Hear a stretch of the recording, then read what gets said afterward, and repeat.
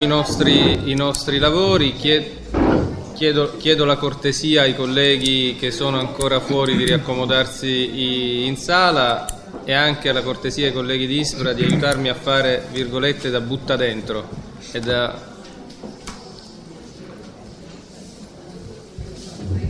Signori, riprendiamo. Allora, intanto non so se è stato dato all'inizio dei lavori, ma i colleghi del servizio web television che ringrazio mi, dicono, mi ricordano che devo doverosamente avvisare. Non ci siamo.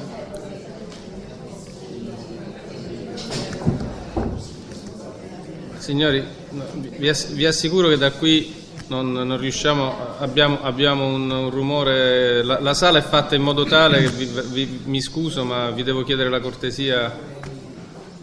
Stavo dicendo, devo dare doverosamente l'avviso che l'evento è trasmesso in diretta streaming sulla nostra televisione, per cui coloro che, che, non volessero essere ripresi o che non volessero diffondere il contenuto dei loro interventi sono pregati di comunicarlo ai colleghi del servizio comunicazione web television, la dottoressa Montesanti, Cecchini, Pacciani per l'eliminazione dei contenuti in video e in audio. Detto questo, io eh, voglio dare inizio a questa tavola rotonda ringraziando tutti coloro che fino adesso si sono, impe- si sono uh, impegnati con grande competenza, con grande anche spirito di sacrificio su questa, su questa materia eh, e su questo argomento così delicato.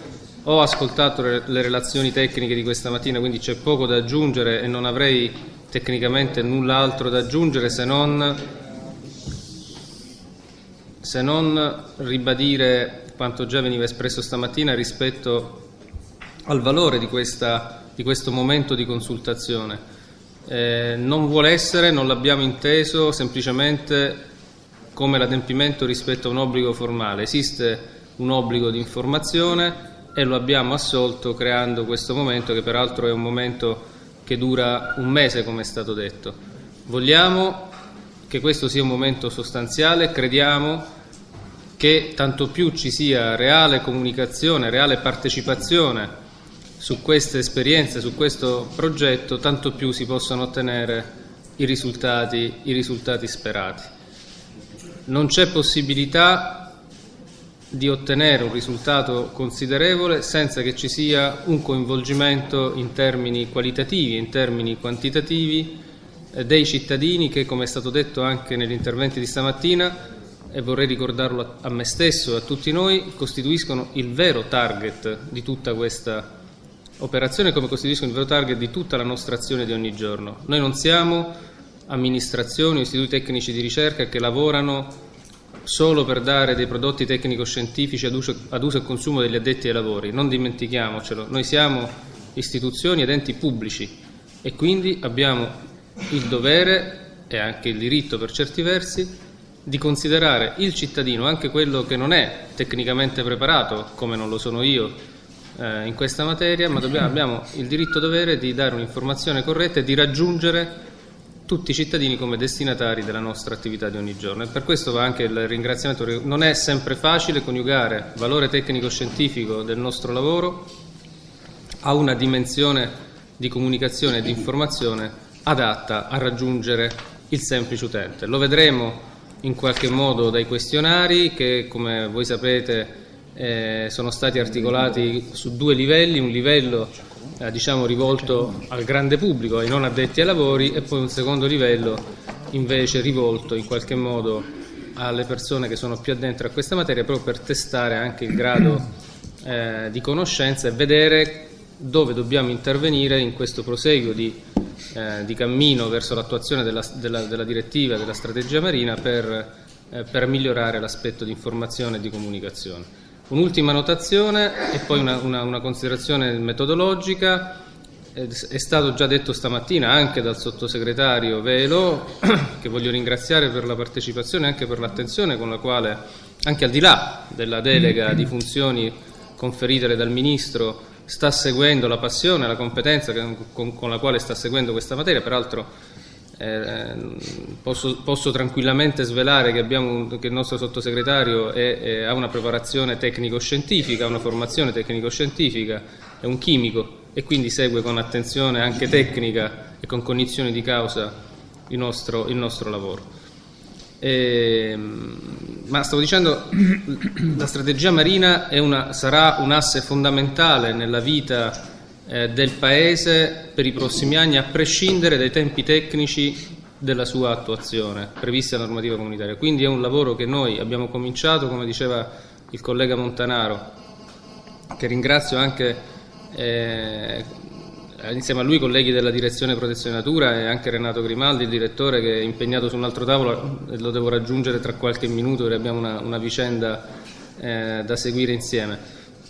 Volevo anche ringraziare perché non è stato facile cimentarsi comunque in un contesto così ampio anche di, di, di, eh, di concertazione in qualche modo tra varie amministrazioni pubbliche e locali e trovare i punti di sintesi non è mai semplice sentire tutte le diverse campane e trovare eh, anche il punto d'incontro delle diverse esigenze. Quindi un lavoro veramente importante che però non rimane fino a se stesso e non rimane circoscritto per quanto riguarda almeno ISPRA eh, durante il mandato mio, del Presidente mio non rimarrà eh, circoscritto nei termini di stretta attuazione della, della direttiva stessa.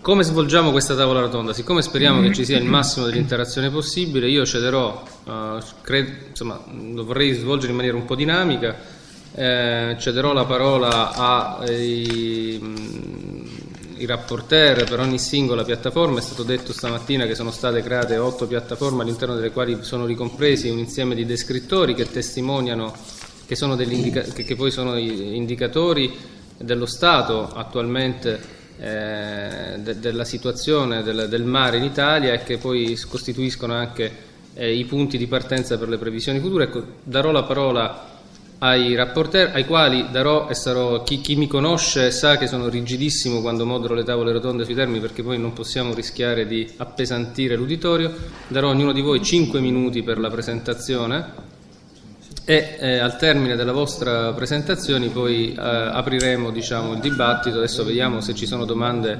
sulla, alla fine di ogni descrizione, di ogni, scusate, di ogni eh, intervento sulle singole piattaforme, ovvero alla fine, o potremmo fare anche l'una e l'altra. Il tutto per contenere questa tavola rotonda in non più di direi 60-70 minuti e terminare eh, negli orari che ci siamo prefissati. Allora, grazie ancora per l'attenzione. Comincerei con la, piatta- con la piattaforma 1 e darei la parola al collega Rinaldi per la presentazione della, della, piattaforma.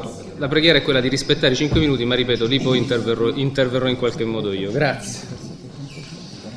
Bene, intanto mm, buongiorno a tutti. Ovviamente eh, ringrazio anche perché personalmente caldeggio queste iniziative che sono proprio atto, perché la consultazione dire partecipazione e condivisione è fondamentale nelle decisioni da assumere, soprattutto su questi temi. Quindi al di là del tavolo tecnico riuscire ad avere persone più volte, direttamente più volte, e rispettare il principio da rispettare sacrosanto. Eh, volevo dire anche un'altra cosa di carattere generale, come ha già ricordato chi ha parlato pochi minuti fa. La storia di questo paese eh, ha toccato già con mano importanti approcci in seno ai principi del monitoraggio, per ricordare la 979, la normativa gestiva, la sua applicazione riguarda il monitoraggio, sostituita in seguito con la direttiva AUE, quindi con i controlli che vengono effettuati anche nella fascia quindi eh, c'è un livello di conoscenza già consolidato che non ci fa partire da zero, anzi partiamo da un livello diciamo, abbastanza alto di conoscenze, soprattutto nelle procedure e nelle tecnologie, che dovrebbe eh, soddisfare l'esigenza di, questo, questa, io la definisco sfida, perché la strategia marina, quando pensate solo che questa sia una cosa che viene condivisa e realizzata da tutti gli stati membri, si capisce già da questo che ha una particolare rilevanza, soprattutto sulla salvaguardia futura del mare e delle sue risorse. Uh, chiaro, chiaro diciamo, sulla piattaforma 1, ho avuto l'onore di coordinare un impegno abbastanza abbastanza, mi confesso, pesante, ma che mi ha dato direi, molte soddisfazioni a me e al gruppo di lavoro che ho cercato di coordinare.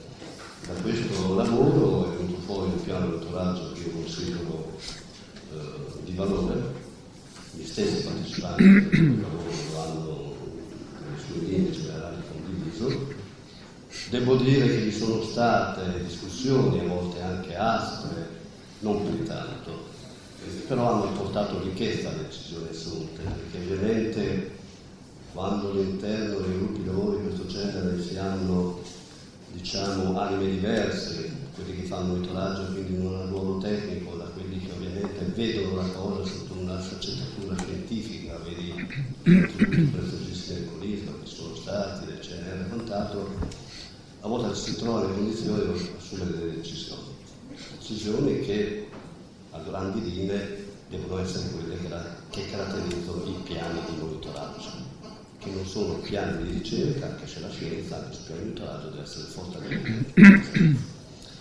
Per quanto riguarda la nostra piattaforma, eh, noi abbiamo eh, organizzato, come sapete si chiama fitoplanto che tocca anche altre questioni, questo proprio per nazionalizzare e avere un buon rapporto costi-benefici, anche questioni come ad esempio l'eutrofizzazione, l'habitat pelagico, quindi anche gli scrittori, le specie e le microplastiche. Quanto riguarda le attività del fitoplancton e barra eutrofizzazione, se vogliamo anche esoplancton, abbiamo cercato di ragionare sul grado trofico presente nei mari italiani.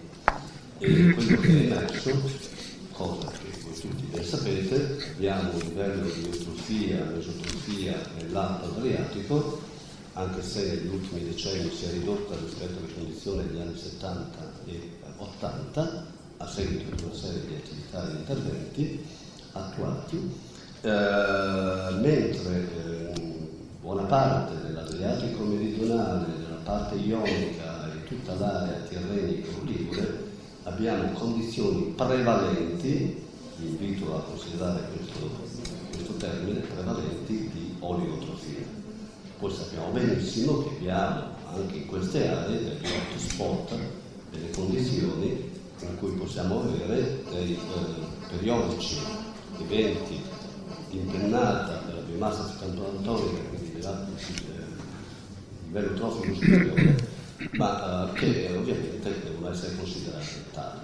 Ecco, alla luce di questa considerazione abbiamo ragionato sui tempi diversi per quanto riguarda il calendario delle attività di monitoraggio, abbiamo ragionato sui transetti eh, da effettuare in ogni regione in funzione della lunghezza della linea di costa, abbiamo ragionato anche sul monitoraggio costiero e sul monitoraggio pelagico, vale dire quello che arriva fino alle acque territoriali alla distanza da costa di 12, di 12 eh, Ecco, mm, credo che eh, ecco, una cosa importante, viene lasciata molta autonomia, eh, procedente di piano che è già scritto nero su bianco, alle regioni o ai loro organi di riferimento, alle regioni primis, per quanto riguarda eventuali approfondimenti su aree, come dicevo, di hotspot, aree di interesse ambientale particolare, le aree marine protette e quant'altro.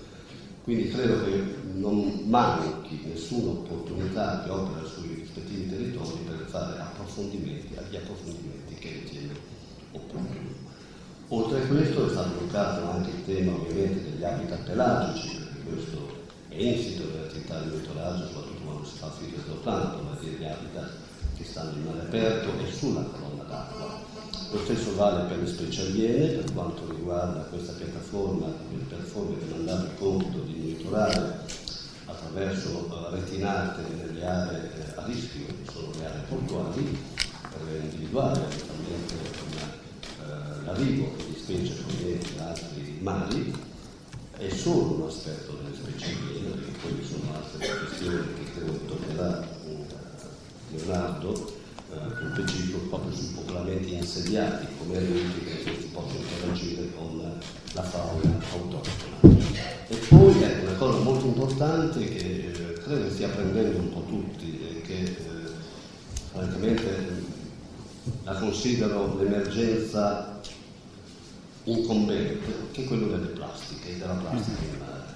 I mari e gli oceani sono pieni di plastica perché purtroppo questi composti hanno una vita lunghissima e quindi tendono a rimanere tal quali per molti molti anni stanno incidendo in maniera molto severa con eh, gli habitat, con la fauna e quant'altro, senza qui tirare fuori le questioni che toccano il cuore, gli uccelli marini, le tartarughe e i delfini, che sono le prime vittime di queste presenze, tutti sappiamo che eh, è un'emergenza che va senz'altro controllata e fino ad oggi non l'abbiamo fatto.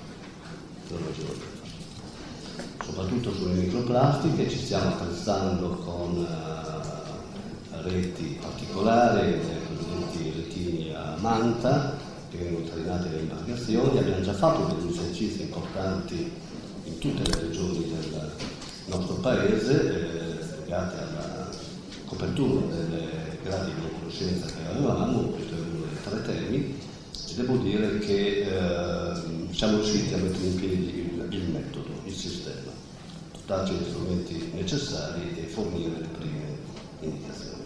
Poi indubbiamente sulle microplastiche credo ci sia, e sulle plastiche in genere, consideriamo, dobbiamo considerare anche quello che è sulle legge è importante. Eh, per quanto riguarda queste piattaforme chiudo, il tema delle plastiche non viene affrontato solo a livello di microplastiche, quindi quelle che raccoglie con retini eh, adeguati, ma anche quello delle eh, spiagge, del materiale spiaggiato. Eh, ogni regione dovrà intervenire su aree uh, particolarmente utilizzate e su aree di bianco e qui c'è una, vi è una straordinaria con, uh, condizione che in genere le aree in bianco sono quelle che presentano meno presenze di un determinato inquinante, serve proprio per quello, per confrontarle con le aree Sul caso delle plastiche depositate sulle spiagge, le aree bianche sono quelle che hanno più materiale speciale. Perché? Perché quelle antropizzate vengono produite per fini turistici dalle amministrazioni. Le aree remote, cosiddette, quelle aree padre e così via, hanno, assicuro, abbiamo documentato, anche la nostra regione hanno due spalle di plastica depositate sulle spiagge. Perché ovviamente essendo frequentate ramazzate. Quindi questa è una cosa indubbiamente interessante sulla quale come davvero riflettere. Io ho, tengo d'occhio l'orologio, i miei 5 minuti sono passati. Grazie. Grazie, grazie al collega Rinaldi. Io, se siamo d'accordo, farei due o tre presentazioni, poi se mai vediamo se ci sono domande, anche per non uh, rompere il cosiddetto ritmo degli interventi di presentazione. Quindi immediatamente la parola al collega Leonardo Tunesi per la eh, per l'intervento sulla piattaforma 2 che concerne, scusate prima avevo dimenticato di dire che mh, mm, la piattaforma 1 a cosa si riferiva, la piattaforma 2 concerne l'habitat del fondo marino e la biodiversità, evidentemente si tratta di tutti argomenti interconnessi come sanno anche gli addetti ai lavori, lo dico solo per chi ci dovesse seguire o chi non fosse così addentro alla materia. Grazie. Grazie. Sempre 5 minuti, eh? per cui i colleghi di Ispra addirittura 30 secondi in meno. Per... Grazie. Grazie. Buongiorno a tutti. Cercherò di essere molto rapido, anche se il programma 2 e la piattaforma 2 in realtà è uno diciamo, delle più ricche e più articolate in assoluto, perché in realtà eh, affronta sia gli aspetti degli habitat del fondo marino e della biodiversità, ma in realtà ad essa afferiscono ehm, le, l'insieme delle attività, per quanto possibile diciamo, ehm, organizzabili in, in, modo comune, di ben tre descrittori. Il descrittore 1 biodiversità, il descrittore 2 per le specie non ehm, indigene, eh, in pratica quindi NIS, e, e il descrittore 6 che in pratica è fondamentalmente costituito dal, dall'impatto dell'abrasione sui fondali, quindi gli habitat dal punto di vista diciamo, di quello che è l'impatto antropico. Um, nel, nell'insieme l'obiettivo di questi programmi di attività funzionali poi alla definizione di eh, programmi di monitoraggio comuni era quello di identificare appunto delle famiglie di attività di campionamento che potessero essere poi utilizzate per fare in modo che chi poi andrà sul campo per raccogliere i dati lo possa fare eh, raccogliendo più dati eh, afferenti anche ad argomenti diversi in modo da ottimizzare le attività di campionamento, i costi e l'impegno umano. Nell'insieme in, eh, per quello che riguarda la componente più strettamente biodiversità, vedete già subito il fatto che la cosa è molto articolata, perché non ci sono soltanto il, i fondali marini, ma anche, la, quindi caratterizzati in questo caso anche poi dalla voce bentos, presa sia come, come tipi di habitat sia come specie che vivono sul fondo, ma poi abbiamo anche la fauna ittica e eh, soprattutto componenti molto diciamo, importanti e famose che potrebbero essere appunto che sono i mammiferi e i rettili marini e la bifauna.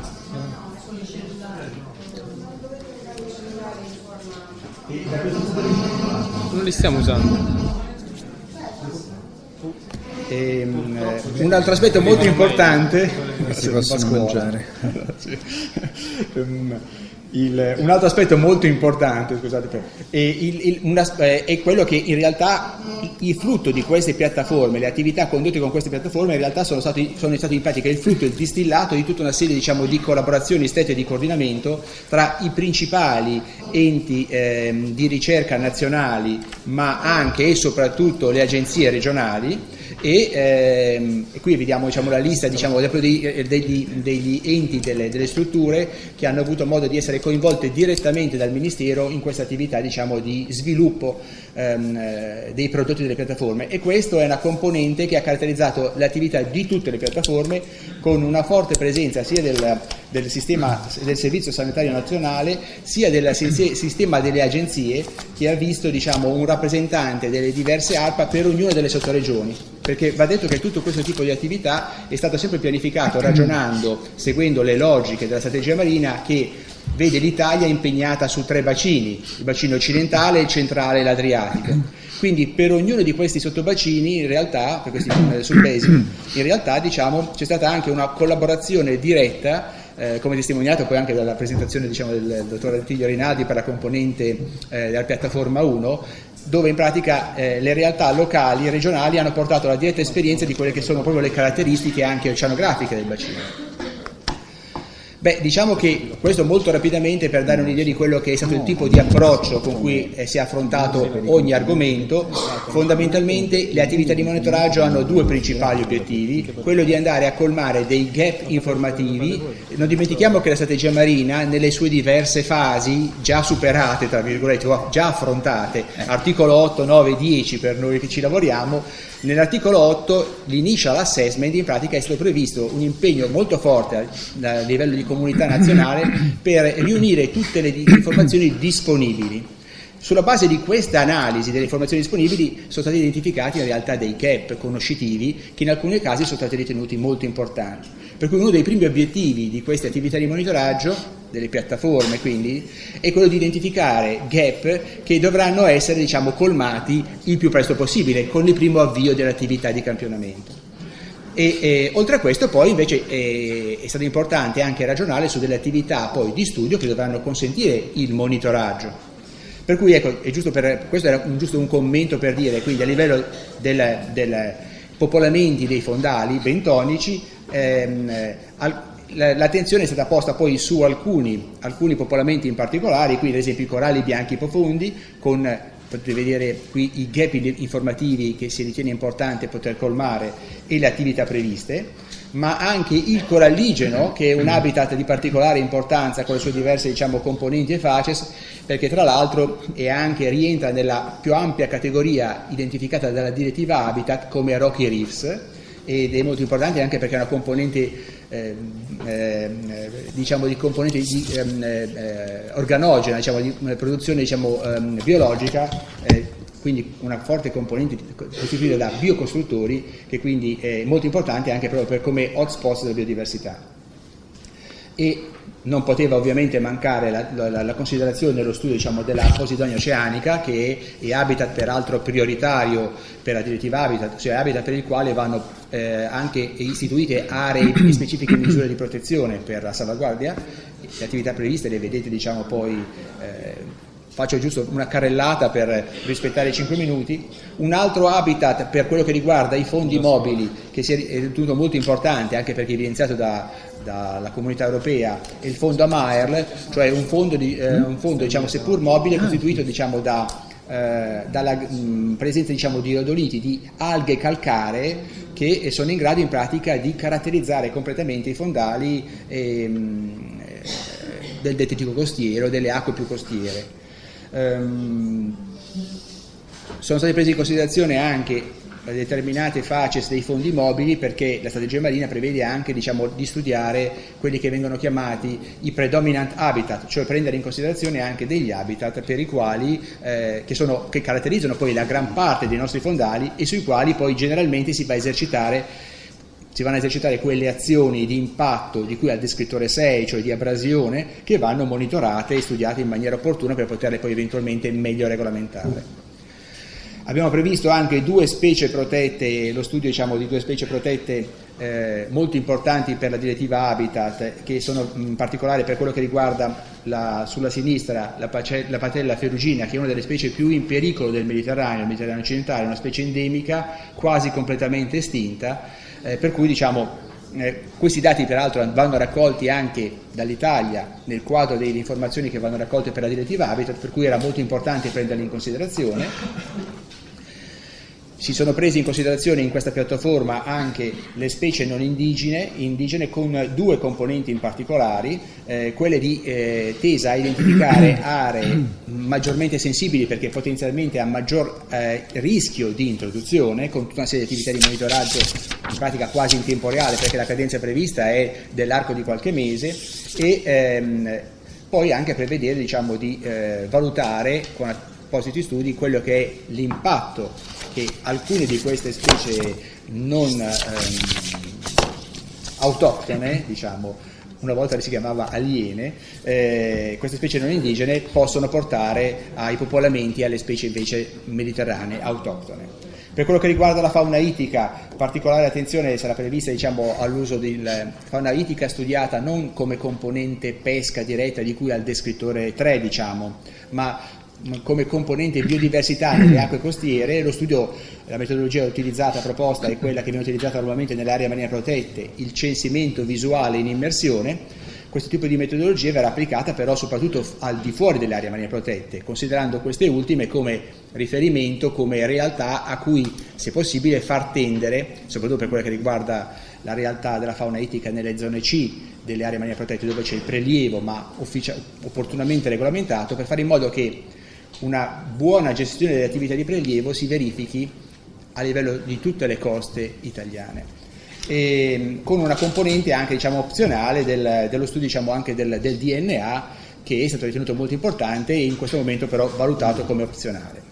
Verranno studiati poi anche mammiferi e rettili marini, eh, soprattutto mediante approcci diciamo, um, di eh, stu- attività di studio a, ad ampio spettro, potenzialmente con metodologie diciamo, di rilevamento aereo e eh, realizzate metodologie e attività di campionamento in coordinamento con gli altri stati che si affacciano sugli stessi bacini in modo da poter avere dei dati che siano completi e, e ehm, a questo punto validi per i diversi sub-basin per avifauna marina ci sono determinate eh, metodologie specificatamente appu- messe a punto in, in, aree dove delle specie di avifauna marina di particolare importanza per la, la conservazione sono presenti, soprattutto bacino, nei diversi bacini italiani.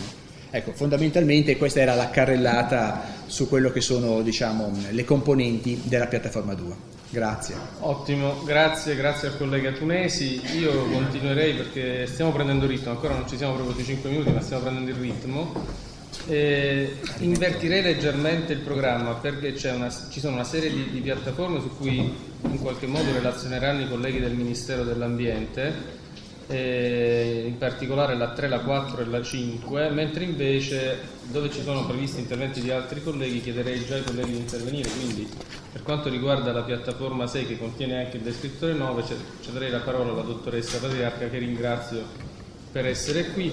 Il descrittore, non li ricordo a memoria, il programma 6 concerne le condizioni idrografiche. Grazie. No, cosa allora scusi? Sì, sì. Allora, il descrittore sì, concerne i contaminanti nei no. prodotti destinati al consumo umano. È il programma 5. Allora il programma 5, chiedo scusa io perché è, è difficile riuscire. Ok, grazie. Esattamente.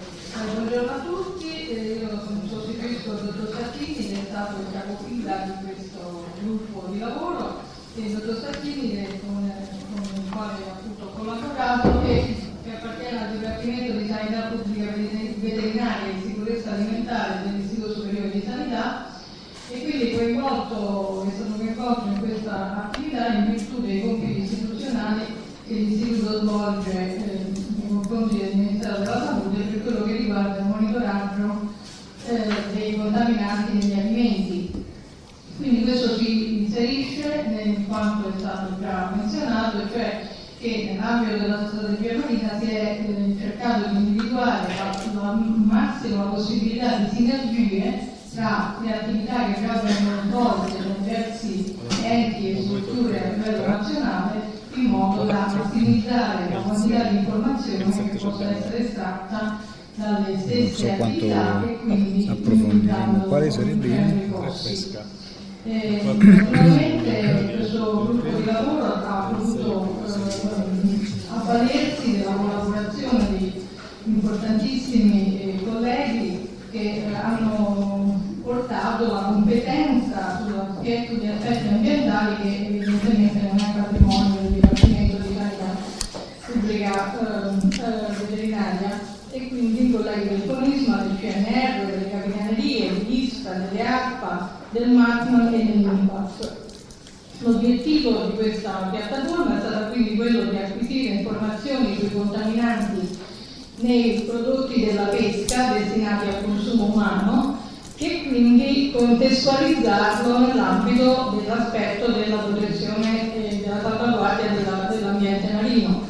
E ai fini di questa attività si è anche scelto di utilizzare come indicatore la frequenza di superamento dei limiti imposti dal regolamento della Commissione europea 1881 che fissa i limiti dei tenori massimi di alcuni contaminanti che sono i metalli, eh, i policidici aromatici, i PCB, le diossine nei prodotti per il consumo umano. Quindi nel gruppo di lavoro è emerse naturalmente la necessità di eh, eh, riuscire a, ehm, a, mettere insieme attività che nascono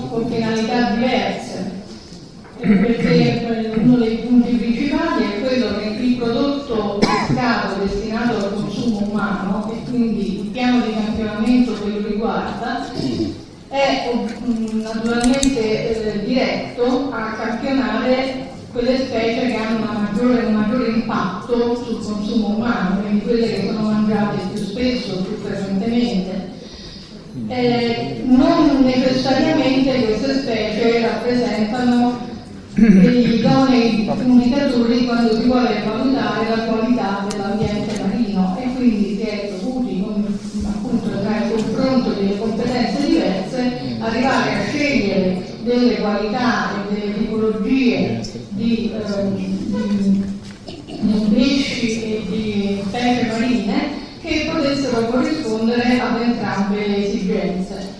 L'altro aspetto che appunto ha caratterizzato il nostro confronto è quello della georeferenzialità, mentre è un aspetto critico quando si parla di strategia marina, nell'aspetto della, nel piano del monitoraggio nazionale degli alimenti questa criticità in quanto il campionamento viene fatto direttamente nei punti di vendita e quindi eh, perde diciamo, un connotato specifico di eh, referenzialità a una particolare zona marina. Eh, questo ci ha condotto quindi a valutare la possibilità di eh, organizzare un piano di, monitoraggio, un piano di monitoraggio che tenga conto di queste difficoltà in, in, in termini di specie ittiche da monitorare sia in termini di attività che devono essere concordate con le capitanerie in modo da attivare il monitoraggio direttamente sul pescato se non proprio a bordo di, di determinate imbarcazioni, alcune delle quali possono essere reperite nell'ambito di attività di ricerca che sono già in piedi. E per quello che riguarda appunto i contaminanti, come ha detto la direttiva e il regolamento 1881 già copre i metalli pesanti, quindi il cadmio, il piombo, il mercurio, e per quello che riguarda il cadmio voglio anche dire che proprio qualche giorno fa è stato emesso un emendamento di questa di, questa, di questo regolamento europeo che modifica proprio per il cadmio bisognerà tenerne ovviamente conto. E, ehm, mentre quello che comunque abbiamo pensato anche questo in considerazione che ci sono anche altre sostanze, a parte appunto i metalli pesanti, gli IPA e eh, le diossine e il CB, che sono comunque oggetto di preoccupazione o di, di, interesse, ma per i quali non sono stati ancora fissati limiti per, per il motivo che è necessario approfondire lo stato eh, della questione, quali l'arsenico, quali eh, intalati e su questi è proposto appunto un inserimento come programmi di ricerca. Ehm, io credo di aver finito Perfetto. ringrazio per la possibilità dell'intervento. Grazie, grazie alla dottoressa Patriarca, grazie ovviamente ai colleghi eh, che sono stati coordinati dal dottor Stacchini per questo lavoro assolutamente interessante. Io diciamo, proseguirei prima di dare la parola ai colleghi del Ministero con la piattaforma 7. C'è il collega non è venuto e allora dobbiamo in questo modo diciamo, ri, ri, riaffidare. Allora facciamo così per dare anche un po' di brio. Ci sono domande su questi primi tre indicatori? Sì. Allora sulle domande domanda secca, non interventi in modo che diamo la possibilità di un botta e risposta. Quindi premessa domanda, facciamo, seguiamo il metodo parlamentare, due minuti per la domanda massima e due per la risposta. Prego. Metodo? Metodo mio. Eh, salve, sono del servizio valutazioni ambientali fargli vedere proprio la consultazione. Eh, avrei due domande una riguarda la presa di Girolamo della presentazione di stamattina e un'altra penso al dottor 1 cioè, la prima è perché già in fase di costituzione dei sette gruppi di lavoro delle sette piattaforme non sono stati inclusi gli stakeholders, cioè gli operatori privati o i rappresentanti degli tipo faccio degli esempi, a supporti, gruppi d'arma o cose del genere, stakeholders. Invece la, la seconda domanda, la domanda si allaccia sulla prima, eh, riguarda eh, appunto delle lacune normative che possono appunto eh, di cui si può venire a conoscenza coinvolgendo gli operatori privati eh, faccio un esempio di quanto mi è capitato recentemente, un operatore privato mi ha chiamato in merito all'equipaggiamento dei segnalatori di sicurezza navali, parlo dei famosi Lanzi e Candelotti, che stanno in una lacuna normativa per cui non sono né trattati, possono essere trattati né come rifiuti né come quant'altro e di, questa, di queste sostanze ce ne sono tonnellate e tonnellate che molto spesso la Guardia di Finanza rinviene nei fondi del mare. E però questo problema che è stato cercato di portare alla, eh, appunto a conoscenza del Ministero degli Interni e anche al Ministero dell'Ambiente più volte non è mai stato trattato, non so se può rientrare in una di queste piattaforme. Questi, di questi materiali se ne trovano certe volte nei cassonetti con evidenti pericoli per, per, per, le persone o addirittura appunto sul fondo del mare, con, con sempre evidenti pericoli perché sono anche ancora materiali che possono essere pericolosi ed esplosivi. Grazie. Bene, grazie, la domanda è molto chiara. Se c'è un altro intervento poi diamo le risposte. Qualcun altro che vuole fare, chiedere qualcosa? No, tutto tace, allora cominciamo con queste prime due risposte. Prego il collega Rinaldi e poi... Vabbè, tanto Irene si deve, si deve alzare, adesso si alza dopo. Cominciamo da, da Rinaldi, così. Ecco. Spiazzato dalla... Rispondo io perché lei insomma, è tecnica, sicuramente oltre più una cosa istituzionale. No, è, è un problema che c'è. Non mi confondete. Che, così, eh, io ho una piccola barchetta del porto che quando devo cambiare il, i razzi vado al negozio e solo alcuni prendono indietro i vecchi. Li prendo, vabbè, ho detto solo alcuni, li prendono e mi poi cosa ne fate? Ma adesso li teniamo lì noi. Molti pescatori li usano per le feste di Natale, magari in casa, per gli amici, eccetera, Vabbè. Ehm, allora, per quanto riguarda questo tema, devo purtroppo spostare l'attenzione sul programma 4, quello dei contaminanti ambientali più idoneo rispetto al fitozooplancton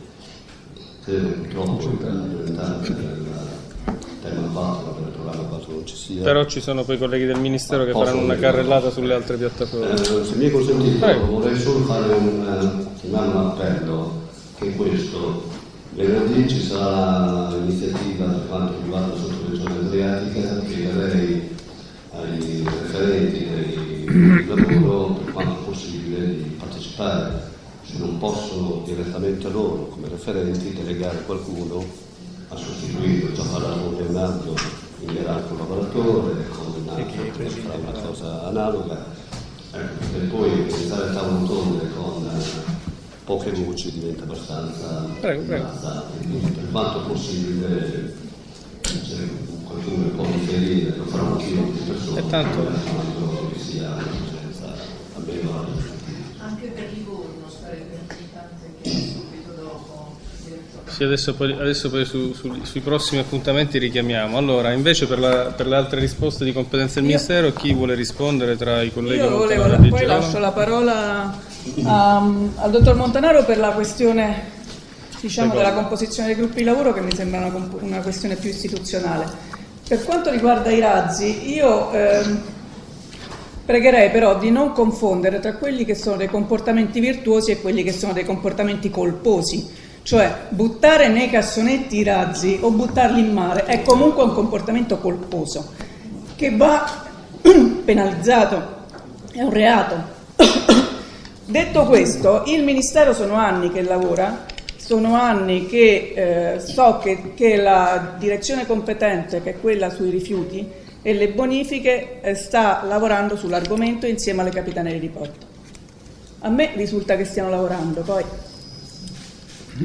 se lei ha maggiori informazioni perché sono stato contattato eh, sì però non è così diventa però non è così eh. non può essere una polemica dovrebbe essere perché eh, un rappresentante di un'azienda che si occupa proprio di, di, di, questo materiale non sa cosa fare perché va al Ministero degli Interni e gli rispondono che è un esplosivo va al Ministero dell'Ambiente e gli rispondono che non è un rifiuto non è categorizzabile come rifiuto quello usato. È vero quello che dice lei che è un comportamento corposo, è vero che se la cosa non è normata, il cittadino non sa cosa fare. Il, la barchetta del dottor Rinaldi, il dottor Rinaldi forse non avrà un comportamento corposo, ma un'altra persona che queste, queste cose non sa come smaltire perché non c'è una normativa perché eh, il cittadino viene mandato a destra e a sinistra perché uno dice non è competenza mia e l'altro mi risponde nella stessa maniera, a questo punto non sa cosa farne, ecco che la Guardia di Finanza ogni anno tira su circa 500 tonnellate di questa roba dai fondi del mare, ne farò avere i filmini e i documenti. Mi pare che si è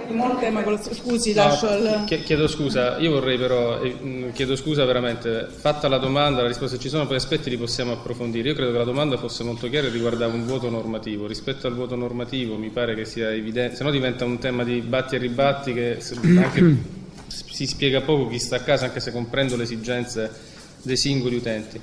Credo che ci sia un'esigenza, sull'esigenza credo che ci stia lavorando comunque il Ministero, se, il, se, se ci sono dei, eh, diciamo, delle situazioni che possono essere segnalate e migliorate proprio per colmare queste situazioni lo facciamo magari anche parlando dopo con i, con i, con i colleghi, se no diventa un, un voto, una, una, sorta di, di, di, di interventi singoli. Allora, su questa questione, la, la, se la, dopo ci sono i colleghi, magari potranno essere definite modalità anche eh, di scambio di, eh, dire, di, interlocuzioni o anche di contributi in modo che possiamo, si possa farsene carico anche tramite i nostri rappresentanti per intervenire da un punto di vista normativo, visto che l'esigenza c'è. Però vi prego, darei quest'ordine anche metodologico, non voglio, ecco, ripeto, tacitare nessuno, ma evitare che si trasformi in un, in, in, in un, in un duetto sostanzialmente. Do, do, dopo, se, se, riguarda questa cosa, allora, battuta finale però, perché sennò... Si lega alla prima domanda, cioè ah. perché nei gruppi di lavoro non sono... E, questo, e, questo, e questa era... Se fossero stati coinvolti stakeholder, forse un, un discorso del genere sarebbe affiorato, non so se riesco a... Ah, no, avevo, avevo capito. Questo c'era la risposta che era da parte del collega Montanaro e quindi gli, gli, gli affido subito il microfono. Innanzitutto dobbiamo un attimo chiarirci. No, no era, era, era, prima? Era acceso. Allora, scusa, Su, sui limiti di questo processo. I tavoli sono stati creati per eh, strutturare i programmi di monitoraggio, non per fare un'analisi delle problematiche anche normative o operative che riguardano il mare, perché altrimenti sarebbe stato un processo molto diverso. Eh, detto questo, non è che non sono stati coinvolti gli stakeholder. Gli stakeholder sono innumerevoli, di vario tipo di varia rilevanza da nazionale a locale e quindi abbiamo pensato e ne siamo convinti che la cosa migliore fosse presentargli già una proposta che non fosse chiusa ma che comunque avesse già una sua strutturazione logica e plausibile e su questo poi far eh, intervenire gli stakeholder con vari metodi proprio perché questa proposta venisse commentata, partecipata e modificata, che è esattamente la logica della consultazione pubblica e della partecipazione popolare. Questo si farà in vari modi, appunto, dal questionario che adesso poi vorrei eh, presentarvi, perché su quello che poi mi piacerebbe avere delle domande, delle risposte, dei chiarimenti e dei confronti, con gli eventi di cui questo è il primo che soprattutto a livello poi diciamo di sottoregioni serviranno proprio a dare la possibilità e voce a quelle che sono le specifiche esigenze delle aree su cui poi eh, incontreremo i nostri interlocutori, perché magari a Cesenatico ci sono delle problematiche diverse da Livorno e diverse da Palermo. E terza cosa, noi già con le regioni abbiamo attivato da un anno un'attività diciamo, eh, sperimentale di attuazione di programmi di monitoraggio in cui abbiamo coinvolto proprio come interlocutore di riferimento socio-economico Union Camere, quale ente esponenziale di quelli che possono essere gli interessi socio-economici, proprio per poter tener conto anche di questo aspetto però essendo un processo molto complesso, essendo un processo molto in fieri, se fin dall'inizio facciamo partecipare tutti a tutto, corriamo il rischio di impantanarci in un processo enorme che non ci porta da nessuna parte. Quindi abbiamo fatto delle scelte di organizzare per fasi e per moduli questo processo, ma con il risultato finale, come dicevo nel mio intervento, proprio di avere un risultato che è partecipato e condiviso, perché altrimenti saremmo noi primi ad essere delusi di questo risultato. Eh, a questo punto, con eh, l'aiuto di, del dottor Tunesi, eh, volevo proprio eh, fare questa, questo questo quasi esperimento, condurvi insieme. Scusate, è vero che sono un moderatore flessibile per un minimo di ore, ci sono ancora tre descrittori, abbiate pazienza, li vogliamo trattare o li vuoi trattare dopo? Non li trattiamo proprio perché Perfetto, non abbiamo allora... modo di dare allora, degli Marco... approfondimenti, almeno come diciamo relatori e capo tecnici. Allora, Penso aspettate che, che c'è una domanda sia... da parte del collega Giangrasso, dopodiché apriamo sulla consultazione. Io vi dico che poi alla fine... Eh? Niente che poi alla fine pregherei i colleghi del Ministero insieme alla collega Morro, Emi, date per favore poi voi notizia degli altri eventi insieme tra, de, degli altri eventi di consultazione nei prossimi mm. giorni. Prego. Buongiorno a tutti, mi chiamo Giangrasso, sono ministra e mi spiace che non viene presentato il programma 4 sui contaminanti ambientali. Però voglio segnalare una cosa, coloro che qui in giro. E qui si parla degli effetti della contaminazione chimica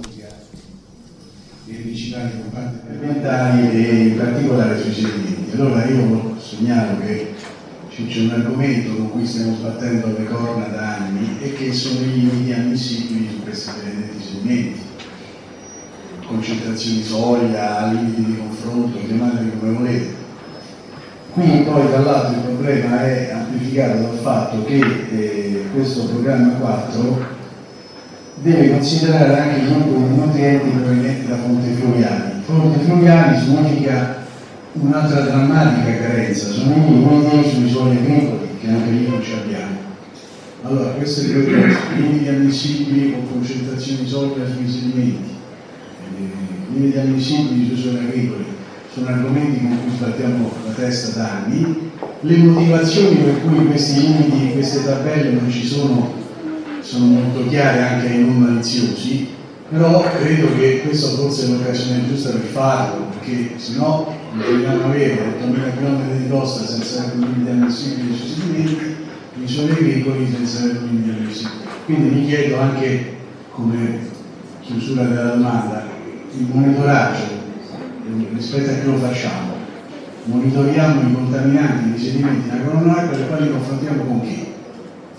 I colleghi Migran hanno fatto dei limiti sito specifici per alcuni SIN la caratterizzazione di Cine sono stati ricordati stamattina dal nostro Presidente, ma sono limiti sito-specifici, non abbiamo una visione generale che la strategia marina credo dovrebbe invece considerare. Grazie. Eh, allora, posto che mi dispiace che il, il capofila del tavolo 4 purtroppo non è romano, quindi ha avuto problemi, poi non so se eh, la, i colleghi dell'ISPRA che erano presenti al tavolo 4 vogliono dire qualcosa. Eh, io ci stavo, eh, ma diciamo che non credo di avere la, l'approfondimento scientifico necessario per andare a, a fare un discorso complessivo. Eh, il problema dei limiti è un problema normativo più di, che di monitoraggio, che ci siano delle, dei, eh, delle carenze sulla normativa, lo sappiamo bene, ci scontriamo in continuazione, abbiamo limiti per quanto riguarda tutto il discorsi dell'immersione in mare dei sedimenti dragati, per la caratterizzazione di alcune aree, eccetera. Però, però, eh, però eh, in questa occasione noi dobbiamo differenziare tra quelli che sono la definizione di limiti che è un aspetto normativo da quello che è attività di monitoraggio che sono attività di conoscenza. Allora, la filiera è senz'altro che sulla base delle conoscenze e dei numeri che ci daranno eh, le attività di monitoraggio avremo informazioni che servono per mettere eh, informazioni aggiuntive. Come ove adesso ne mancassero per mettere quei limiti. Ma i due passaggi non sono uguali non sono la stessa cosa. Quindi noi abbiamo una serie di informazioni importanti. Appunto adesso magari Anna Maria Cicero qualche cosa in più la potrà dire. Delle informazioni importanti già sulla contaminazione eh, dei nostri sedimenti in alcune aree. Quando stamattina illustravo eh, i, eh, gli ambiti in cui pensiamo di svolgere il prossimo programma di monitoraggio che stiamo mettendo a punto, che sarà un programma che andrà proprio a coprire quegli ambiti non coperti attualmente a normativa, eh, ho indicato che il problema della contaminazione chimica, soprattutto dei sedimenti, ma anche degli organismi bentonici a largo, è un problema fondamentale, è una carenza fondamentale per il nostro Paese e proprio per quello è uno dei focus che abbiamo messo nel programma di monitoraggio. Però poi il discorso di fissare dei limiti e delle norme è leggermente diverso, si avvale di, dei risultati del monitoraggio ma non è il programma di monitoraggio. Non so se Anna Maria forse ha partecipato.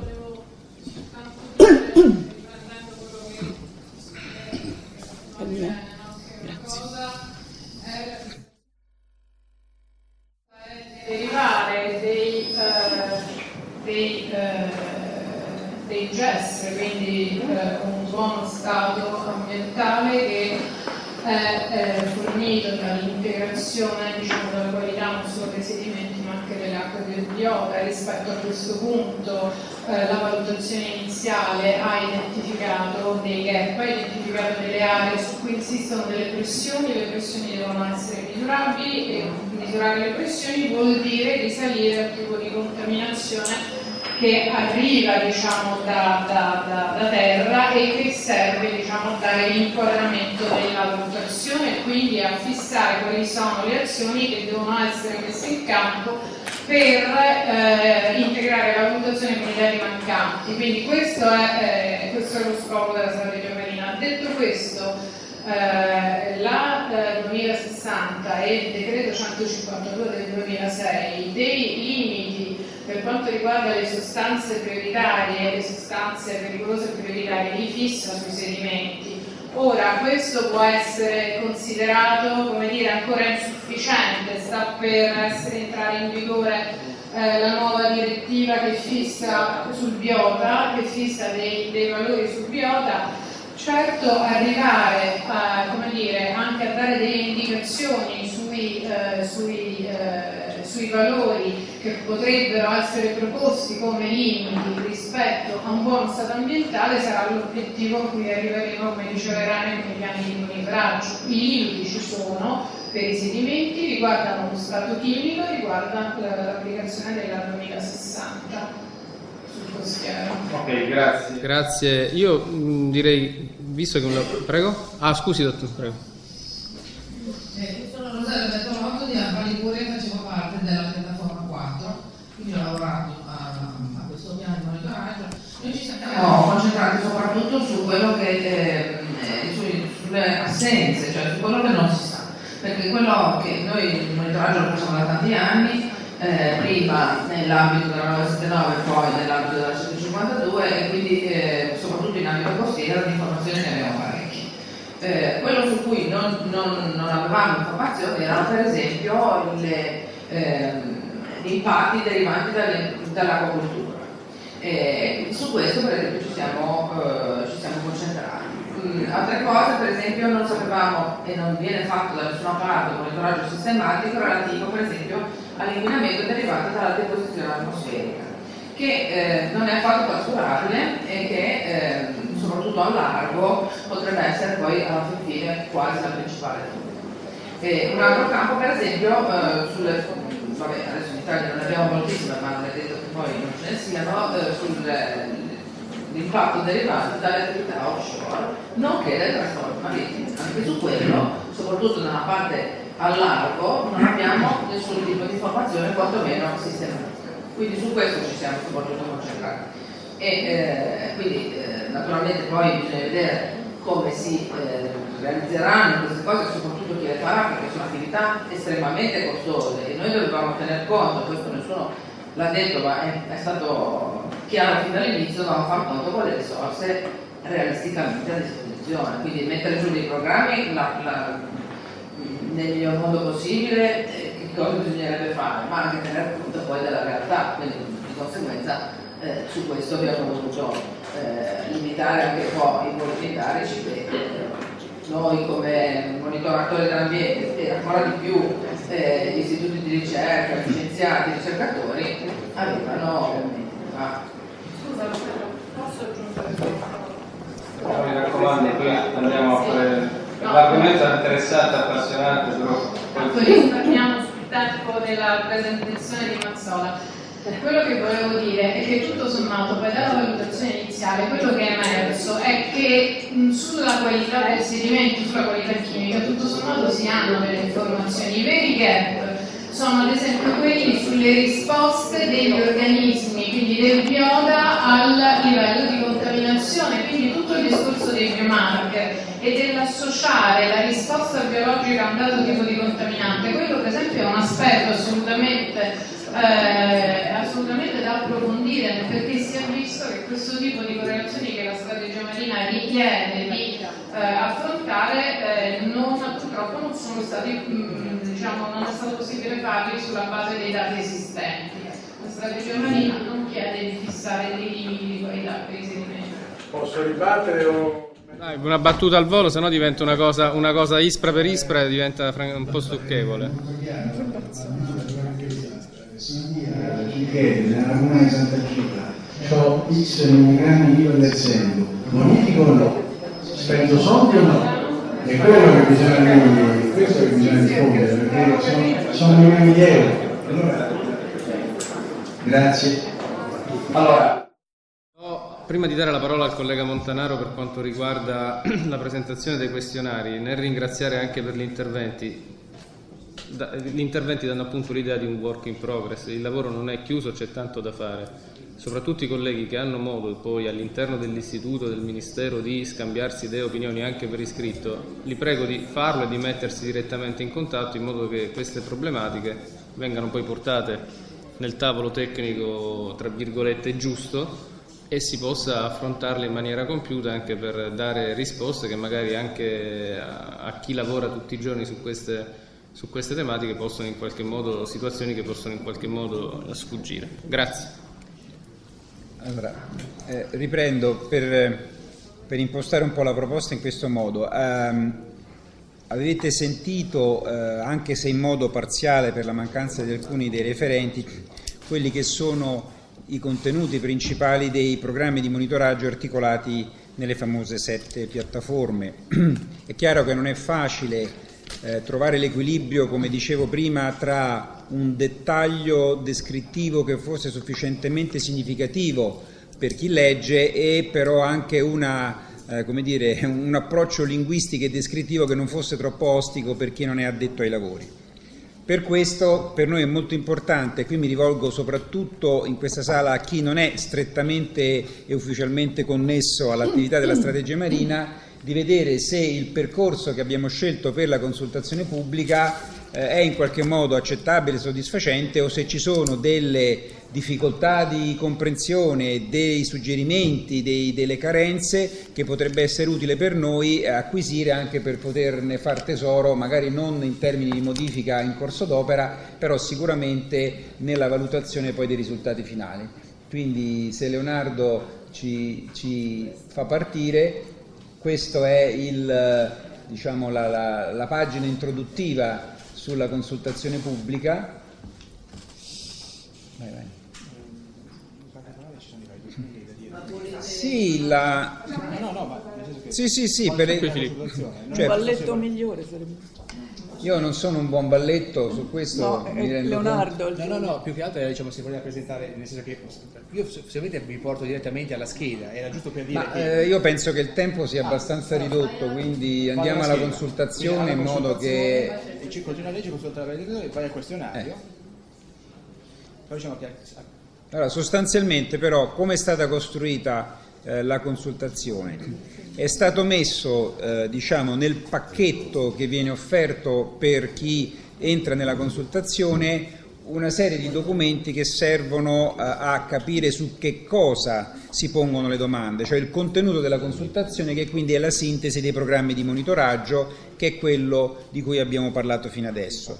Su questo prodotto, cioè sulla sintesi descrittiva dei programmi di monitoraggio, è stato sviluppato un questionario che ha un duplice scopo, sia quello indirettamente di capire se questa descrizione dei programmi di monitoraggio è, tra virgolette, calibrata e centrata rispetto a quelle che sono le esigenze del pubblico di avere sufficienti informazioni ma sufficientemente, diciamo, semplici e chiare, e dall'altra appunto di dare la possibilità di interagire su questa proposta in modo da dire se in che misura la considera azzeccata, completa, eh, invece critica, mancante di qualche parte, in modo che poi noi possiamo eh, sintetizzare questi risultati e poter adeguare la proposta finale dei programmi di monitoraggio a, questo, a, questo, a questi suggerimenti. Quindi,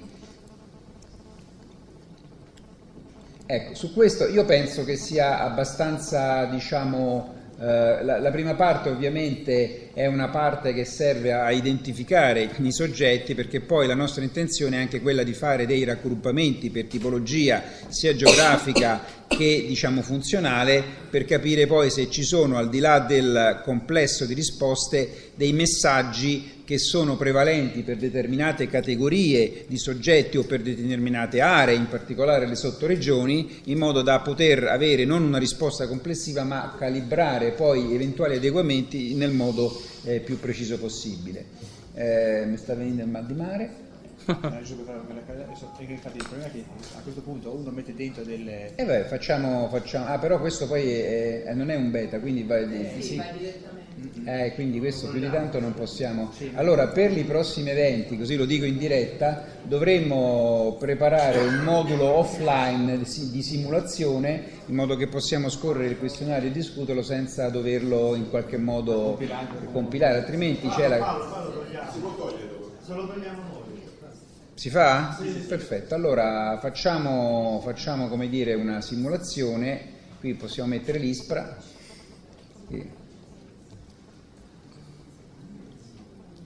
Sì. Eh, prima di passare alla schermata successiva ovviamente poi ci fermiamo e vediamo un attimo. Allora, io mi fermerei un attimo perché prima, le prime tre domande sono di identificazione. C'era qualcuno che aveva una, una domanda? Eh? Ah, eh beh. Eh, però ah. diciamo non è possibile, e forse a livello di... Vabbè, allora, eh, la prima domanda riguarda la tipologia di ente o struttura di appartenenza e serve a identificare appunto la tipologia di soggetto che partecipa al questionario. C'è un menu a tendina in cui abbiamo elencato ovviamente non singoli soggetti ma tipologie, che ne so, enti di ricerca, università, associazioni di categoria, associazioni di consumatori e altro come voce residuale. La seconda domanda ovviamente è la denominazione dell'ente o struttura di appartenenza, nel caso non si sia un singolo cittadino, perché nel qual caso non c'è bisogno di metterlo qui, però bisogna in qualche modo, non so come funziona, se io clicco altro poi devo comunque mettere la domanda obbligatoria? Inizialmente sì. E allora che cosa metto? Il mio nome? Potrebbe anche essere... È altro, però denominazione dell'ente o struttura di appartenenza, se è obbligatoria, se io... Altro anche qua. Eh, ma quindi, quindi, eh, quindi non è ento struttura di appartenenza. Beh, questo per esempio è un chiarimento importante. No, no, no, perché poi se ci chiedono, se io sono un privato cittadino, nella domanda 2 che cosa devo mettere? Ah, perché lì si parla di ente o strutture di appartenenza, quindi bisognerà mettere comunque altro perché non è né un ente né una struttura di appartenenza. Eh, questo l'abbiamo messo per dare un'identificazione geografica, proprio perché ricordiamoci che l'idea sarebbe, soprattutto a livello di sottoregioni, fare degli accorpamenti, dei raggruppamenti, in modo da valutare se ci sono delle, così, delle, delle tendenze, dei, dei filoni di risposta per categoria e per area geografica. Questa serviva semplicemente a identificare eh, chi partecipava alla consultazione. Scusate? Poi la domanda 4 è una domanda, possiamo dire, preliminare. Come valuti l'importanza di una specifica direttiva comunitaria mirata a conseguire o mantenere entro il 2020 il buono stato ambientale del mare e dei suoi fondali? Che tradotto in modo più sintetico è quanto è importante che ci sia uno specifico strumento di governo che eh, ha l'obiettivo di garantire per il 2020 un buono stato ambientale dei mari? E qui abbiamo scelto di fare una gamma di eh, possibili posizioni da fondamentale, importante, irrilevante o non so, speriamo che nessuno clicchi non so, e ovviamente in tutte le domande abbiamo anche dato modo di inserire un commento libero perché eh, così se c'è un contributo dire, più specifico c'era la possibilità di inserirlo. Uh, la domanda 5 abbiamo messo come consideri il percorso istituzionale partecipato e condiviso che ha condotto alla elaborazione dei programmi di monitoraggio e i soggetti coinvolti finora. È evidente che per rispondere a questa domanda si deve prima andare a vedere il pacchetto informativo che è allegato alla pagina del questionario perché altrimenti non si conosce ciò di cui stiamo parlando, cioè qual è questo percorso istituzionale, quali sono i soggetti istituzionali coinvolti, questo si può sapere andando a leggere quel documento di descrizione. A questo punto... Non avendolo letto, cliccando sul, sul link automaticamente ci si, viene rimandati o al percorso istituzionale o ai soggetti coinvolti, in modo che... E a questo punto... Poi... A questo, questo, per noi è molto importante perché, come dicevamo, siccome il discorso di partecipazione e condivisione è l'elemento fondamentale, sapere se quanto abbiamo fatto è 100%, 50, 30 o cos'altro accettabile attraverso una gamma di pareri ed eventualmente avere dei suggerimenti per noi è un elemento fondamentale proprio per tarare il discorso della partecipazione. In particolare abbiamo ritenuto che fosse importante dare la possibilità, e qui mi riferisco per esempio alle osservazioni fatte prima dal dalla persona che ha fatto il quesito sugli stakeholder, di dare dei suggerimenti su eventuali ulteriori categorie specifiche di interlocutori che possiamo non aver inserito nel percorso istituzionale descritto nel documento eh, di riferimento in modo da poter valutare se effettivamente sia opportuno inserirlo o magari è stato già inserito ma fa parte di un blocco no, che, eh, dire, che non lo rende visibile ma comunque c'è in termini di partecipazione. Ah, questa è, è forse la domanda più complessa ma più importante, perché sempre facendo riferimento, e c'è il link a quella che è la struttura della strategia marina che è articolata in 11 descrittori qualitativi, cioè in 11 caratteristiche dell'ambiente marino, ciascuna delle quali ha una sua specificità e eh, fa parte di ciò che deve essere presente a certi livelli per avere un buono stato ambientale diciamo, delle acque marine. Quindi sono 11 elementi qualitativi che sono qua descritti.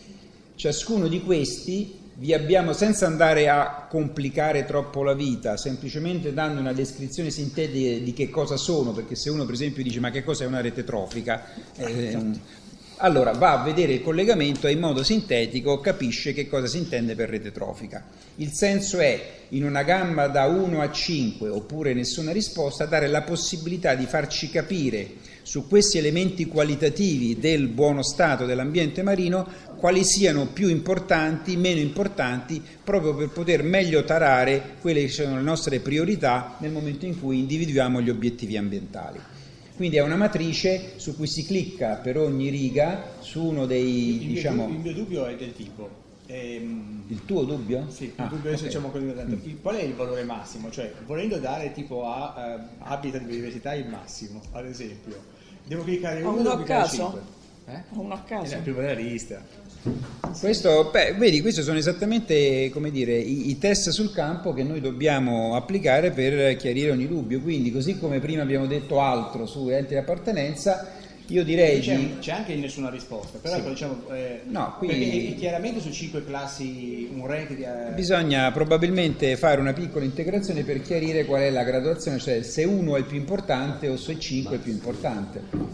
Perché teoricamente la cosa migliore sarebbe quella di avere eh, il, il- il 5 come valore massimo, perché automaticamente uno può chiedere al sistema poi di fare una somma somme. e i valori maggiori vuol dire che la, la persona in- nell'insieme ritiene tutti importanti piuttosto che, non lo so, ecco, era giusto... Mi sembra... Mi sembra ovvio che sia così. Eh, lo so, Però- però, però diciamo- però che sia ovvio non vuol dire che sia ciò che è, quindi per sicurezza è meglio, è meglio È giusto confermarlo. diciamo, da, da- eventualmente da, mettere da aggiungere una, una codifica, di uno minimo, 5 massimo. La leggenda, ecco, da mettere giusto Poi. la leggenda. Su, io vado, scusate, io piano piano e con cautela ma vado avanti se non vedo che c'è qualcuno che vuole qualche chiarimento o intervenire su questo pacchetto di domande.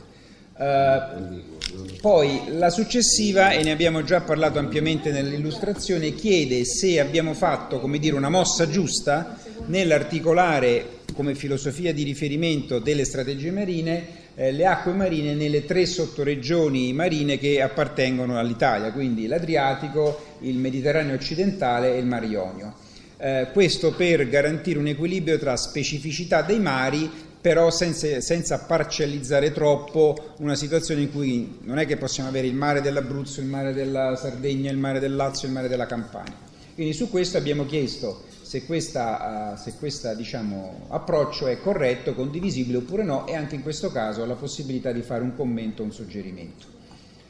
Ehm,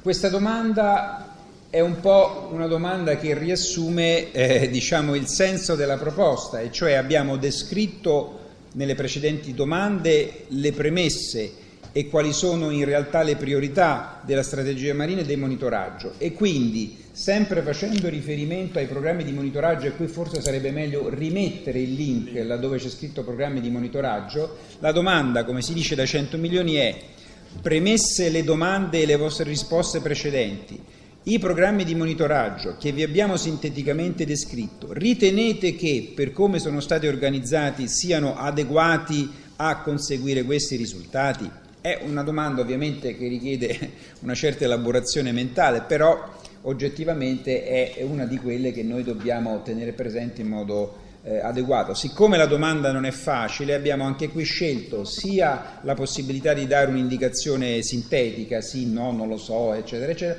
oppure di inserire un commento che poi può essere elaborato e sintetizzato a valle dei, dei risultati del questionario.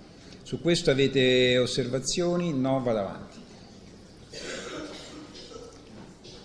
Eh, in, Avete detto che c'è tutta la banca dati collegata? Sì, sì, eh, stiamo dicendo che nella pagina iniziale, ma stiamo anche rimettendolo con i link, c'è la possibilità cliccando sull'iperlink di andare a vedere qual è il pacchetto informativo, banca dati e sintesi che può essere diciamo, verificato e letto per poter dare una risposta consapevole alle domande del questionario. Uh, questa domanda in particolare ehm, dire, è quasi rivolta un po' al mondo scientifico, se vogliamo, perché come abbiamo detto una parte consistente di attività di monitoraggio sono già realizzate attualmente e devono essere, mh, non vorrei dire semplicemente, ma sostanzialmente messe insieme e coordinate, però ci sono notevoli ancora lacune che devono essere colmate. Quindi una domanda importante è rispetto alle, alle lacune che sono emerse nella valutazione iniziale, i programmi di monitoraggio, in particolare le attività di monitoraggio nuove e aggiuntive, sostanzialmente riescono ad affrontare e colmare queste lacune o ci sono degli aspetti importanti di lacune che non sono stati compresi nella strutturazione dei programmi di monitoraggio che stiamo realizzando? Anche qui c'è sempre la possibilità di una risposta sintetica oppure di, una, di, un commento. È ovvio che poi, e questo lo potremmo forse in qualche modo mettere, se la risposta è no, nel senso che i programmi di monitoraggio non vanno nella direzione di colmare le lacune, eh, mi aspetto di avere nel commento una sintetica spiegazione del perché non condivido questa impostazione, altrimenti come dire, mi rimane la curiosità di sapere questo giudizio critico eh, da che cosa nasca. Quindi su questo magari se riusciamo anche, non lo so, nel caso di risposta negativa eh, si invita a fare un sintetico commento di spiegazione. eh, questa invece, la domanda 11, non ce ne sono ancora molte, affronta un, un, nuovo tema che è quello della cooperazione internazionale per la predisposizione delle strategie marine proprio perché così come non è, non è, sensato avere una strategia regionale, per esempio delle acque marine, non lo è altrettanto avere una strategia marina che è esclusivamente eh, concentrata e mirata sulle acque nazionali, visto che il mare ovviamente eh, non conosce limiti specifici di barriere giuridiche o eh, nazionali. E quindi la domanda è quella di capire quanto l'organizzazione dei programmi di monitoraggio è importante sia condivisa e eh, portata avanti insieme agli altri paesi che condividono le stesse sottoregioni e quindi avere il senso dello sforzo che deve fare l'Italia per organizzare per esempio campagne congiunte nell'Adriatico con la Croazia, la Slovenia, eh, con, eh, con, con la Grecia più a sud. Anche in questo caso abbiamo sviluppato una eh, graduazione di questa valutazione un po' più articolata, fondamentale, importante e rilevante e la possibilità di inserire un commento. Questo è importante soprattutto, penso, a mh, soggetti istituzionali che per vocazione naturale hanno la mission di interloquire con soggetti internazionali, eh, che ne so, nell'Adriatico tutta la parte alta da, da, da, Trieste a Venezia che ha scambi costanti e continui con altri paesi, se e come possa aiutarci a rafforzare la determinazione e l'impegno a interloquire con questi altri soggetti internazionali per avere dei programmi di monitoraggio che siano comuni. Eh, per sviluppare ulteriormente questo, eh, questo elemento, abbiamo ricordato quali sono i principali soggetti con i quali attualmente abbiamo sviluppato e stiamo sviluppando programmi di monitoraggio coordinati e congiunti. Li abbiamo elencati sinteticamente per dare la possibilità a chi eh, predispone il questionario di dare una valutazione sull'importanza di questi soggetti. Li abbiamo ovviamente accorpati al massimo, quindi abbiamo messo l'Unione Europea, eh, le altre convenzioni internazionali e regionali, come per esempio la Convenzione di Barcellona, che eh, è la convenzione che gestisce la protezione dell'ambiente di tutto il Mediterraneo, accordi bilaterali e multilaterali, che vuol dire accordi paese-paese oppure paesi-paesi, ma non nell'ambito di strutture internazionali, e poi organismi tecnico-scientifici internazionali che ovviamente non sono normalmente eh, elementi istituzionali ma sono meccanismi scientifici di coordinamento sovranazionale che però hanno un importantissimo ruolo per quanto riguarda la definizione della conoscenza di base per i monitoraggi. Uh, eh. scrive, chi non so, organismi tecnico-scientifici, no, accordi bilaterali e multilaterali, RAMOGE. Ah, perché un a caso. Non no, era proprio quello che avevano messo. Ma sì. c'è, c'è la possibilità di indicare quali. Eh, eh, poi non so, organismi tecnico-scientifici internazionali. Allora, qui probabilmente abbiamo avuto un, un piccolo come dire, salto di, tra quello che avevamo detto e quello che è stato fatto, perché qui più o meno invece quello doveva essere non l'indicazione di specifiche categorie, ma semplicemente eventuali suggerimenti perché però vabbè, vabbè comunque vabbè tra sei anni vabbè, lo scriviamo però, meglio. Tra sei anni lo scriviamo meglio. Però a me, a, me, a me, sembra abbastanza chiaro. Sì. andiamo avanti. Eh, dobbiamo chiudere che ci, l'ultima domanda è una domanda residuale che serve a eh, come dire dare la possibilità di fare commenti che non sono legati alle domande precedenti, perché ovviamente sono domande sintetiche, sono domande un po' riassuntive e quindi per catturare quelle che possono essere elementi che non erano presenti diciamo, nelle precedenti domande. È chiaro che questo è innanzitutto un tentativo perché non è facile ridurre a una accettabile semplicità un elemento complesso come i programmi di monitoraggio della strategia marina. Eh, pensiamo che sia un eh, approccio, ripeto, abbastanza equilibrato tra semplicità e capacità di comunque fornire degli elementi utili, soprattutto dai non addetti ai lavori, perché ripetiamo, per gli addetti ai lavori ci sono tanti altri canali istituzionali e informali che ci permettono di interloquire con loro in modo più strutturale e sistematico. Quindi questa è un po' la presentazione del questionario, eh, ripeto ancora, se ci sono osservazioni e domande da parte soprattutto dei non addetti ai lavori che quindi potrebbero trovarsi nella posizione di doverlo redigere e quindi capire esattamente quello che stanno facendo, eh, sono le benvenute, altrimenti io non avrei finito. Domanda, prego.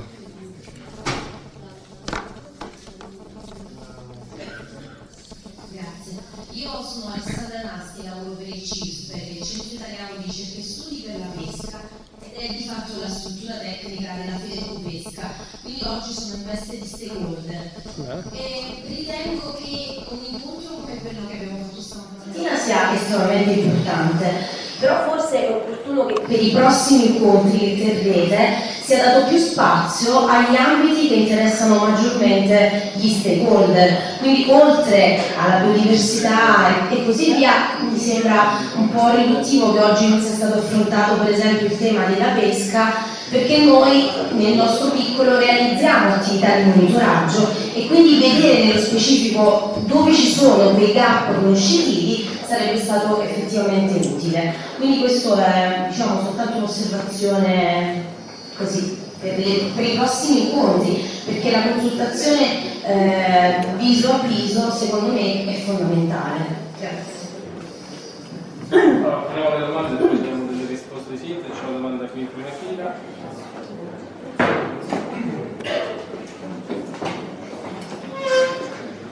Io sono Giuseppe Nerco della CISE nazionale, il responsabile ambiente della CISE nazionale. Io dico che il lavoro è eccezionale, però basta parlarsi un po', essere un po' più chiari, precisi, perché strategia per l'ambiente marino io l'ho inteso appunto come strategia, lavoro di monitoraggio per un piano d'azione. Qui stiamo solo a un'attività di monitoraggio degli elementi fisici, chimici e quant'altro, della, fauna e quant'altro dell'ambiente marino. Quindi è un programma di monitoraggio ambientale sul mare. Io, come dire, toglierei la, la parola strategia per l'ambiente marino, non è una strategia per l'ambiente marino, è un piano di monitoraggio, di rilevazione e controllo ambientale. Punto. Una cosa molto limitosa, una cosa di cui c'è bisogno, per cui io ho fatto una circolare a tutte le strutture della CIT a partire dalle, diciamo, dalle strutture sindacali impegnate sulla costa, al settore della pesca, al settore del disinquinamento, al settore, al settore dei lavoratori e quant'altro, gli dico non andare, non partecipare a questa cosa, scriverò ai sindacalisti, ai lavoratori del settore della ricerca, dei laboratori e quant'altro, a cui gli dirò andare che non ci azzecca niente proprio con un discorso della strategia ambiente marina. Ma questo è un modo dire, di parlarsi chiaro, nessuno chiede, cioè, per cui eh, se il Ministero dell'Ambiente quando fa le cose possibilmente apre prima un confronto e, e, e precisa le cose che vuole fare, è, è dignitosissimo questo programma di chiamiamolo per quello che è, ma non strategia per l'ambiente marino, tutt'altra cosa, mi dispiace. Per cui chiarezza per chiarezza. Quindi gli non c'è allora, per quanto riguarda, poi lascio la, la, conclusione ai colleghi del Ministero, fatta salva poi la parte finale in cui chiederò ai colleghi del Ministero e EMI di illustrare gli appuntamenti di questa sessione. Oppure sì, Oliviero, Irene, possono farlo tranquillamente nelle prossime settimane. Per quanto riguarda ISPRA, nel suo ruolo di supporto tecnico anche sui temi della comunicazione noi siamo assolutamente disponibili e pronti a recepire eventuali indicazioni che dovessero provenire rispetto sia all'organizzazione di ulteriori momenti di comunicazione, anche specifici, rivolti diciamo, a settori, agli stakeholder, su, su piattaforme, su descrittori specifici, sia evidentemente da un punto di vista tecnico per implementare la parte, tra virgolette, strategica rispetto alla parte eh, monitoraggio. La parola ai colleghi del Ministero dell'Ambiente. Io sugli aspetti più tecnici il... Eh, allora, volevo solamente dire due cose a proposito della, della rappresentante della Federco Pesca. Allora, eh, intanto sicuramente eh, di questo ci scusiamo, oggi ci sta un gap informativo sulla parte pesca perché i colleghi hanno avuto problemi a venire. Eh, però eh, colgo l'occasione che sicuramente è stato già detto, io mi sono distratta, però eh, vorrei richiamare la vostra attenzione sul fatto che in questa occasione online abbiamo eh, messo tutte le informazioni derivanti dalla banca dati eh, che sta presso l'ISPRA in cui sono confluiti tutte eh, informazioni e dati derivanti dai vari monitoraggi e soprattutto tutti i documenti e i dati a supporto della valutazione iniziale. Quindi tutti i gap che noi abbiamo evidenziato e sulla cui base abbiamo avviato quest'opera di programmi di monitoraggio, lì ci sono e abbiamo fatto un lavoro, abbiamo, diciamo, abbiamo chiesto a ISPRA e ISPRA ha fatto un lavoro straordinario di mi viene da dire volgarizzazione, cioè di eh, ehm, preparare delle interfacce grafiche che rendano possibile la consultazione di questi dati che sono in molti casi dei dati abbastanza complicati perché eh, sono dati che derivano da eh, ricerche di ambiti differenti. Andiamo da tutti i dati del monitoraggio marino eh, finanziato dal Ministero negli ultimi 15 anni all'applicazione della 2060 e altri dati su osservazioni faunistiche, eccetera. Allora, tutti questi dati ci sono e io vorrei evidenziarlo perché eh, secondo me è un'operazione straordinaria che è stata fatta. Cioè, eh, il, uno dei problemi importanti di questo Paese è il problema di avere pochi eh, dati disponibili, cioè in realtà gli open data sono una grossa carenza di questo Paese. Allora, se per una volta siamo riusciti a metterli, a disposizione e quindi noi non parliamo di gap senso lato, ma parliamo di gap con un link che manda alla banca dati. Allora questa è una cosa che ci tenevo a rievidenziare e che probabilmente si attacca anche a quello che diceva lei.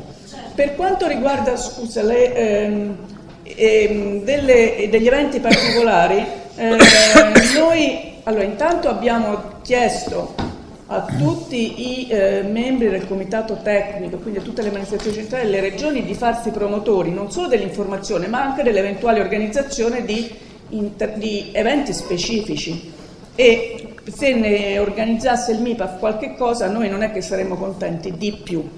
In più abbiamo chiesto agli organizzatori, alle regioni capofila delle, mh, degli, delle sottoregioni in cui si svolgeranno gli eventi periferici, di porre particolare attenzione non solo alle eh, problematiche peculiari di quella sottoregione, ma agli stakeholders legati a quelle problematiche. E quindi gli verranno inviate le comunicazioni e sarà graditissima la presenza dei stakeholders che forse a livello locale hanno più senso di quanto non ne abbiano poi a un livello così generale. Sì, eh, io invece risponderò all'altro intervento. Innanzitutto ovviamente, come abbiamo detto stamattina, questo è un processo molto lungo, molto complesso, eh, ben lungi dall'essere perfetto, è un processo che per sua natura è un processo ciclico, ogni sei anni si ricomincia, cioè ogni sei anni si riproduce il percorso per andare sempre più verso un perfezionamento dei risultati della strategia marina, che è una strategia, perché quello di cui noi oggi stiamo presentando diciamo, il contenuto è un tassello piccolo di quello che è il processo generale, che mi permetta di ricordarle. Noi siamo partiti da una valutazione di quello che è la situazione dell'ambiente marino allo stato attuale, che è stata fatta nel 2013 e che è stata messa adesso a disposizione del pubblico, questa valutazione comprende anche elementi di impatto e di pressione socio-economico, il degrado dell'ambiente marino tutti elementi che dal punto di vista dell'apparato economico sono fondamentali, perché se non si sa da dove si parte, se non si sa quali sono i rischi, quali sono le criticità, non soltanto ambientali, ma anche dal punto di vista produttivo ed economico, è chiaro che non si può reagire. Poi, come abbiamo ricordato stamattina, abbiamo fissato quali possono essere gli obiettivi per il 2020, cioè la strategia è siamo qua, non ci piace per questo, questo, questo motivo, vogliamo arrivare entro il 2020 da quest'altra parte. Questa è la, la, l'ampiezza di questo percorso da oggi al 2020 è quello che dobbiamo controllare con i programmi di monitoraggio. Quindi i programmi di monitoraggio non servono a risolvere di per sé un problema, ma servono a controllare valutando una serie di indicatori se ci stiamo avvicinando alla soluzione del problema oppure no. Come si risolvono i problemi? Questa è la successiva fase, che sono i programmi di misure, cioè quelle che sono le azioni concrete che a livello nazionale dovranno essere assunte affinché quelli che sono i traguardi per passare da una situazione di oggi che non è soddisfacente per tutta una serie di motivi non solo ambientali ma anche socio-economici a una situazione che noi riteniamo accettabile. Quindi questi programmi di misure sono le azioni concrete che dovranno essere definite e condivise entro la fine del 2015 e che sono poi l'apporto, tra virgolette, innovativo per la strategia. Quindi la sua osservazione, eh, come dire, è limitata soltanto a questa fase, ma non è la strategia in sé di cui stiamo parlando. Lei dovrebbe proprio in base al pacchetto di informazioni che è stato messo a disposizione, eh, riuscire ad avere una visione complessiva di questo percorso, che è un percorso di mh, circa otto anni per arrivare al 2020 e su questo ovviamente siamo disponibilissimi a, dire, a, interagire soprattutto con gli stakeholder che non sono soltanto le associazioni di impresa ma anche le associazioni di lavoratori ovviamente, che sono poi dei, eh, degli utilizzatori primari del settore mare anche perché uno degli obiettivi del fatto di avere un percorso ciclico è che i risultati e le criticità di un ciclo vengono poi tenute in considerazione per migliorare in quello successivo. Se 11 descrittori qualitativi sono troppi, li ridurremo, se sono pochi li aggiungeremo, se vanno spostati li cambieremo, se c'è da tener conto maggiormente di un aspetto ambientale o di un aspetto socio-economico, tutti questi elementi saranno presi in considerazione per il prossimo ciclo perché la strategia marina è un meccanismo permanente, non è un esercizio una tantum, è un approccio strategico complessivo proprio perché nel medio periodo, sicuramente non nel 2020 ma magari nel 2050 sì, ci sia alla fine una situazione dell'ambiente marino italiano e unionale, europeo, che non soltanto è ambientalmente migliore, ma è anche accettabile e sostenibile nel medio-lungo periodo dal punto di vista socio-economico, che è altrettanto importante rispetto a quella che è la tutela ambientale. Ora io non pretendo di, tra virgolette, convincerla e, e con, con queste poche parole, però la invito a voler come dire, investire un po' del suo tempo nell'approfondire un po' meglio i documenti che abbiamo messo a disposizione, dopodiché anche a livello personale sul sito del Ministero dell'Ambiente se ha dei quesiti, delle osservazioni o anche delle critiche da effettuare, noi siamo ovviamente disponibilissimi a prenderle in considerazione anche al di fuori della forma del questionario per poter poi migliorare la nostra, diciamo, la nostra reazione. Grazie. Bene, direi, direi, che possiamo concludere i nostri lavori, non senza però prima aver ringraziato tutti coloro che hanno partecipato e che ci hanno seguito anche via web, coloro che hanno organizzato questa giornata, coloro che stanno lavorando alla, al tema generale della strategia marina e vi assicuro sono tanti e vi assicuro sono veramente bravi nei settori di, di, di, di competenza. Voglio ricordare che questa iniziativa della consultazione pubblica o popolare, come più piace al Presidente De Bernardinis, eh, vivrà anche ulteriori momenti nelle prossime settimane, lunedì 23 a Livorno. Prego. Ecco, allora ditemi voi perché come... Allora, il 20 ci sarà a Cesenati con iniziativa pubblica, il 23 ci sarà a Livorno, a Livorno parteciperà il sottosegretario Velo e l'ultima il 30 giugno a Palermo. Eh, detto questo, poi tireremo le fila ovviamente di questo primo momento che ovviamente, come è stato anche ribadito precedentemente, non esaurisce, ripeto, non esaurisce il tema del confronto con stakeholder, operatori e cittadini che proseguirà durante poi tutto il corso ulteriore del nostro lavoro. Credo che per oggi possiamo chiudere qui eh, i lavori, chi vuole trattenersi, credo sopra sia possibile bere un bicchiere d'acqua, ancora grazie, ancora grazie anche alla società, eh, alla, alla, alla, alla società geografica che ci ospita e che come al solito con grande disponibilità mette, scusate il gioco a disposizione questa bellissima e prestigiosa location. Grazie. non ho voluto dire del, del